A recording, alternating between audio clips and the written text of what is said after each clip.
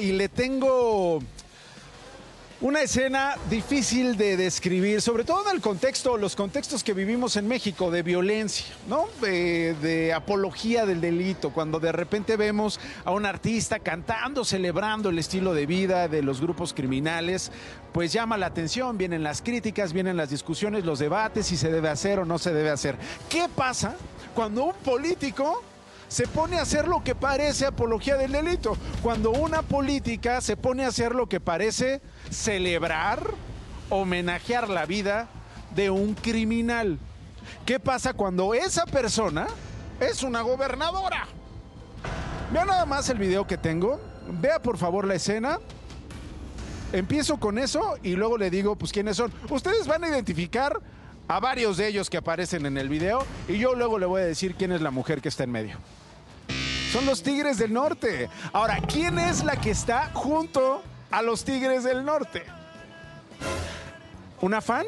Sí, una fan, por lo que parece es una fan. Es alguien del público allá en Colima que diga, yo quiero subirme a cantar y bailar con ustedes allá este, en el escenario. Por favor, Tigres del Norte, háganme el sueño realidad. Pues sí, es una fanática que estaba entre el público, pero una fanática VIP ni más ni menos que la gobernadora del estado de Colima, Indira Vizcaíno, que fue captada, tal como usted lo vio, con los Tigres del Norte, los jefes de jefes. Y a propósito de jefes de jefes, ¿qué canción están cantando? Esa, la de los jefes de jefes. Es decir, llevan décadas haciéndolo, pero tener hoy, repito, los contextos importan, a una gobernadora cantando esa canción, en su estado, cantando el corrido de los jefes de jefes, todo esto en medio de la crisis de inseguridad que azota a nuestro país, particularmente al estado de Colima. Todo esto en medio de críticas sobre si debemos o no hacerles homenajes a personas que han causado daño, a personas que son criminales, siendo funcionario público, haciendo esta apología hace que nos pongamos obviamente hoy a pensar si está bien o no. ¿Cuál es la historia de esta canción? A ver, por un lado, Dicen, está mal que una funcionaria cante con los Tigres del Norte, está haciendo un homenaje, hace referencia a esta canción. ¿Qué nos recuerda este corrido? Pues una pieza fundamental en la carrera de los Tigres del Norte, que hace alusión al famoso narcotraficante de la década de los 80, Miguel Ángel Félix Gallardo. ¿Quién era Miguel Ángel Félix Gallardo? El fundador del extinto cártel de Guadalajara y a quien se conoce precisamente como el jefe de jefes. El narcotraficante, a sus 77 años, sigue recluido, está en la cárcel, está en Puente Grande, allá en Jalisco. ¿Quién es este hombre? Alguien que al paso de los años ha concentrado tanto poder en estas décadas para traficar drogas, para influir políticamente, en medio de un contubernio y una impunidad con la autoridad.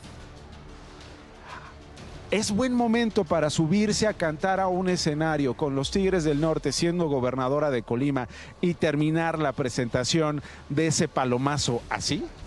Y mire, señora, señor, yo entiendo que todos tengamos sueños, que todos eh, tengamos el deseo de alguna vez en nuestras vidas subirnos a un escenario con los Tigres del Norte, por lo menos tocarlos, decirles muchas gracias por lo que han hecho por décadas y sí, eventualmente cantar con ellos. Pero ser gobernadora de un estado donde seguramente hoy, allá en Colima, saludos a los que nos ven, se están preguntando, oiga, pues aquí las cosas no están tan bonitas como para cantar y bailar. ¿Qué tan seguro está Colima? ¿Hay presencia de grupos criminales en Colima? ¿Y cómo los está enfrentando?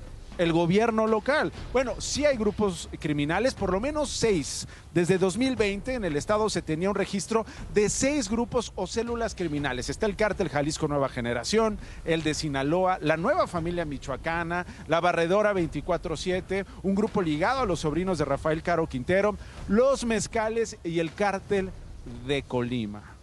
Y hoy tenemos a la gobernadora de ese estado cantando esa, habiendo otras canciones de los Tigres del Norte. Habiendo tantas otras, Maricho, de los Tigres del Norte.